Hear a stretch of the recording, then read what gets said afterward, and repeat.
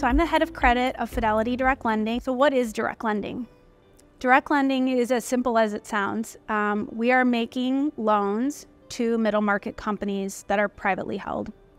And the opportunity set in the middle market is very vast. There's over 200,000 middle market companies in the US. It represents the third largest economy in the world, set third only to the US and China.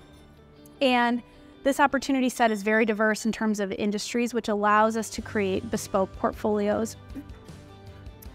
The compared to the public markets, where there's about 4,500 public companies, investors not allocating to the U.S. middle market is a missed opportunity, um, and we're able to offer that product uh, under the Fidelity Private Credit Fund. So our process is very unique for identifying opportunities as well as selecting those credits we're able to, with the um, partnership with our Fidelity research analysts, have access to unique investment opportunities as well as leverage their research from an industry standpoint to make sure we're eliminating blind spots as we're making investments. And the asset selection that we're able to uh, then achieve allows us to create those diverse portfolios of high quality assets for our investors. So our goal is always putting the client first and making sure that we are returning principal.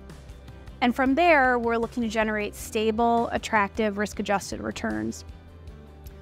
We do that in a very unique way from not only our team's deep experience in the middle market and selecting credits, but also from partnering with our research analysts to make sure that we're identifying any blind spots um, that we might have about industry headwinds or tailwinds before we're making those investment opportunities. We believe this sets us apart and is a unique differentiator and will allow us to continue to deliver stable, attractive returns for our investors.